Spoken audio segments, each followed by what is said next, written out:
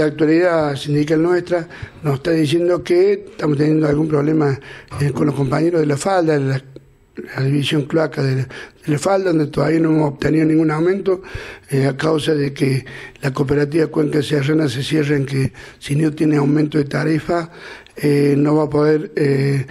eh, proyectar los aumentos a los compañeros, creo que el tema no es así, estamos trabajando al respecto, estamos presentando una nota al Ministerio donde, bueno, queremos, entre otras cosas, cobrar también en tiempo y forma eh, los haberes y, el aguinaldo cuando nos toca, porque no lo están pagando, se lo están pagando en cinco cuotas eh, subsiguiente al mes siguiente de, que se vence la, el, sueldo. Como así también se está pagando el 30% en ticket canata, donde también es ilegal. Así que bueno, estamos haciendo una presentación ante el Ministerio con la firma de todos los compañeros.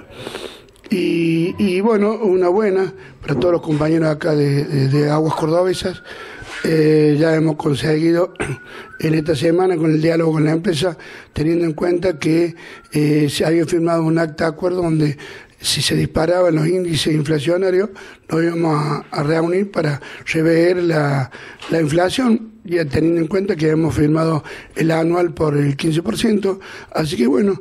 enviándole a todos los todos los compañeros de Agua Cordobesa una, una buena noticia donde hemos conseguido eh, con los haberes del mes de julio un 5% más eh, de aumento, el cual se hará remunerativo el mes de, octubre. Y con esto, si hacemos, eh, digamos, el estudio anual, eh, eh, llevamos conseguir un 20,78%. Eh, por ciento. Así que bueno, estaremos juntando con los compañeros, con, la, con los directivos de Agua Cordobesa el momento que eh, hiciera falta, siempre y cuando se disparen los, los, los porcentajes inflacionarios se disparen, lo vamos a seguir juntando. Y en el interior también estamos evaluando para ver cómo estamos yendo con los aumentos que hemos sacado y si hace falta lo vamos a reunir porque, bueno, eh,